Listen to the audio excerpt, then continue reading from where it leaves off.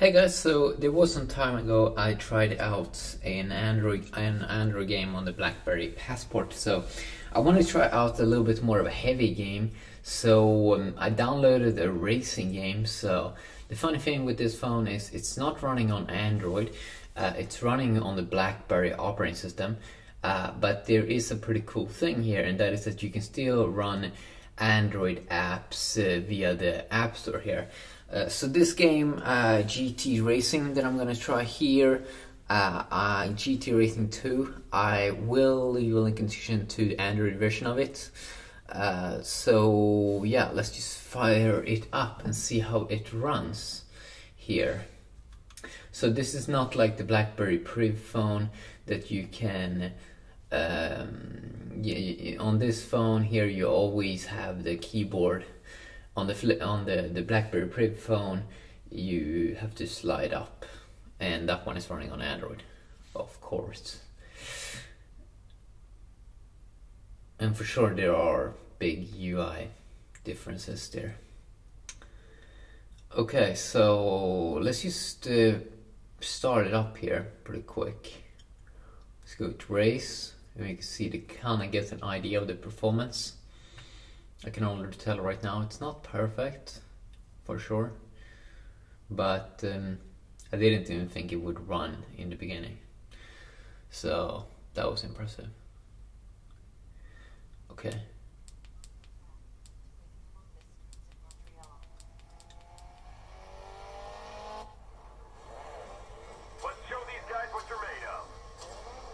So let's see here. So I switched to having a steering wheel because if I don't then it's pretty hard. So as you can see the graphics is amazing. The bad thing with this game is that you can't change the graphics yourself to low graphics.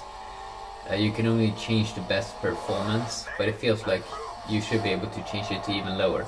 So you can see that sometimes you do get some weird uh, like freeze glitches or something where it kind of freezes up. You don't get any like frame drops in like uh, like that.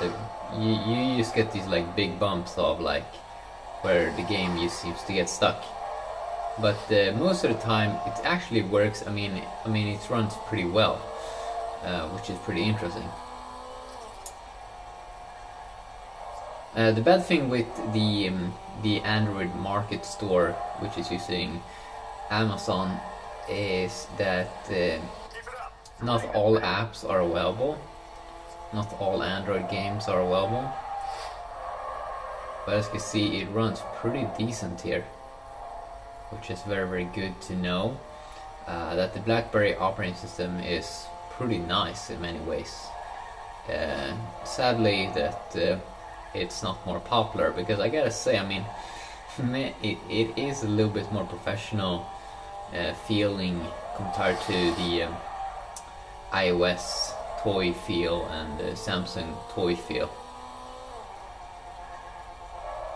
Right now, it was some time uh, ago I felt a glitch where it, it stops to work. Okay, there we go. So there you can see kind of like you can get a little bit of an overall idea of how the game is running.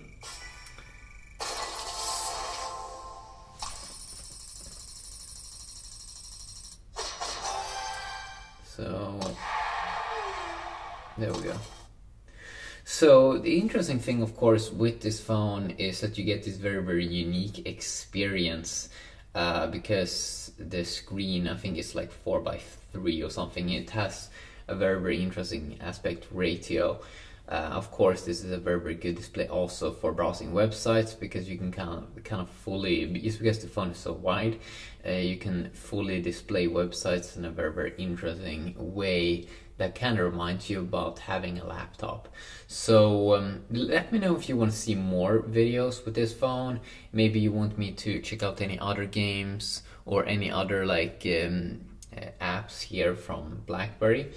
Uh, some of these uh, pre-installed apps.